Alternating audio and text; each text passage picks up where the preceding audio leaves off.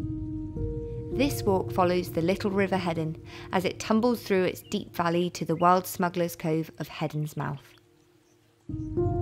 Part of the breathtaking landscape that inspired poets including Wordsworth and Coleridge. The route is largely accessible and suitable for all terrain buggies and trampers.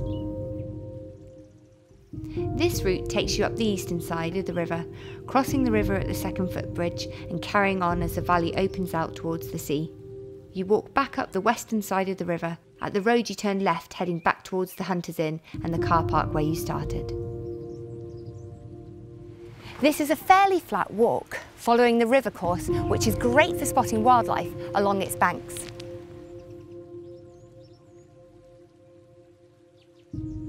Wordsworth once wrote that nature never did portray the heart that loved her, and this special place is teeming with wildlife.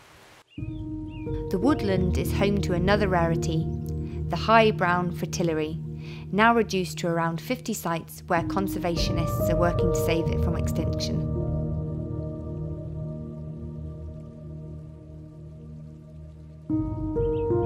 This cove is one of the remotest beaches in the area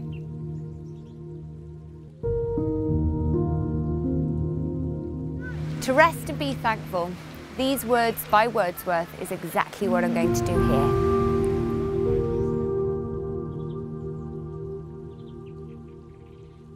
Once you've taken in the sights and sounds of the coast, it is time to head back inland, where a National Trust owned pub awaits you. Still in the spirit of resting, I've come to the Hunters Inn for a well earned pint. Cheers.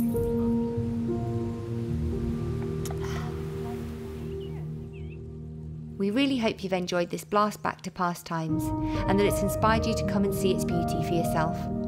Please visit exmoorwalks.org for more information.